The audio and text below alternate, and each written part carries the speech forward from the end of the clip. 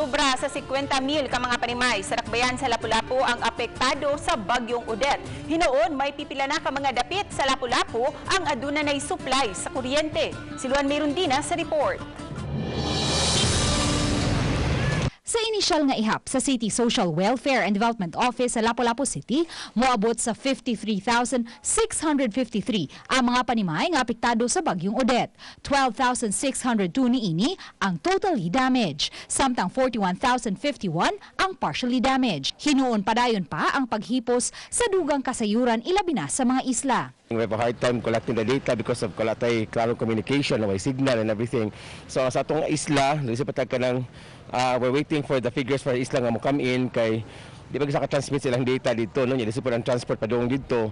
So hopefully by Monday we can collate all the figures no.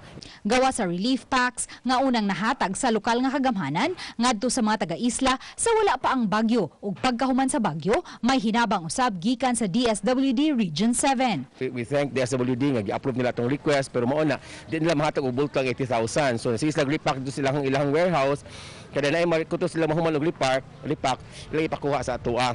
Gibutyag usab ni Lapu-Lapu City Mayor Junard Ahong Chan nga nahinabi niya si Presidente Rodrigo Duterte kagabi atol sa pagbisita niini sa airbase ug mipasalig nga muhatag og mga housing materials. Muhatag siya og construction materials. No? Ah, gipagi nila sa ilahang ah, sa housing ni sa national government. Kunya ah, materials ang atong madawat.